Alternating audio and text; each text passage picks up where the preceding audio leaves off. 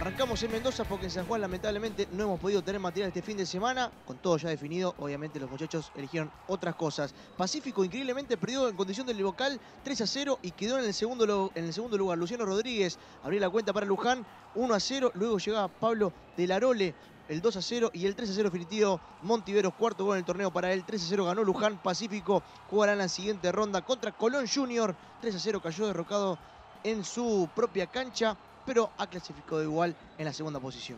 El que quedó puntero fue Huracán Las Heras, ganó 1 a 0 en el estadio mundialista. Cristian Lucero marcó el único tanto del partido, con 35 unidades quedó Huracán puntero.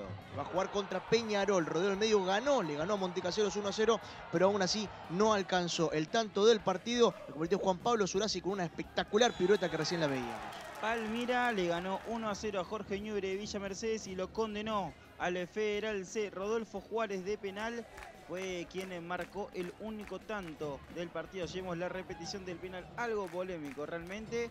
Eh, declarado justamente por Gastón Monzón de Río Tercero, eh, quien fue el árbitro del encuentro. Le decimos Juárez, marcó el tanto del penal y el descenso de Ñubri. Ahora vamos a ver la victoria del Chacarero 2 a 0 sobre el Huracán de San Rafael el tanto de Javier Villaseca, séptimo en el torneo, y también de Damián Cabrera, 2 a 0 ganó San Martín a Huracán de San Rafael. Los dos mantuvieron la categoría y seguirán jugando en el próximo torneo.